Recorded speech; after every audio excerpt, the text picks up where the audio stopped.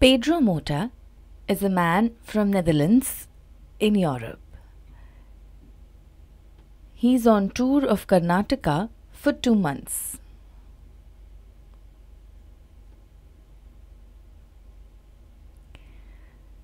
The name of his YouTube channel is Madly Rover and he keeps sharing videos. He was at the Thieves Market in Bengaluru, also known as Chor Bazaar. While walking through the narrow streets, he was vlogging the entire experience. He enjoyed walking through the narrow alleyways and vlogged all the different stalls. He interacted with many people. Many Indians greeted him warmly.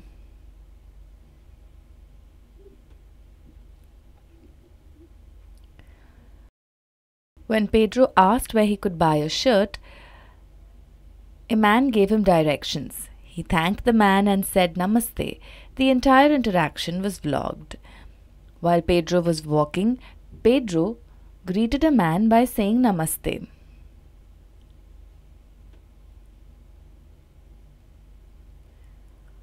However, the man grabbed his hand and began pulling him.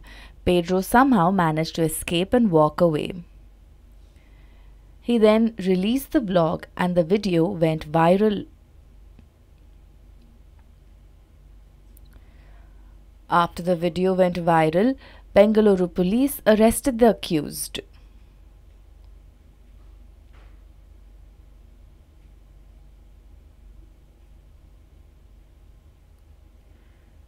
He was booked under Section 92 of the Karnataka Police Act.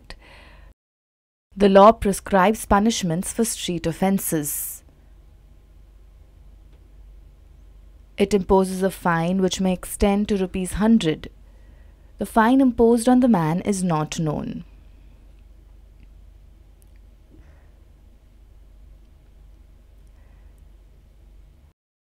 The man's name was Sharif and he was later released.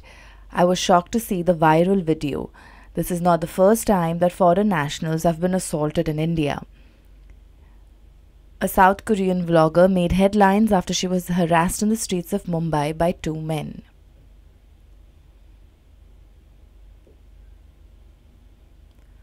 The two were arrested, fined, and then released. Sadly, there have been many such incidents.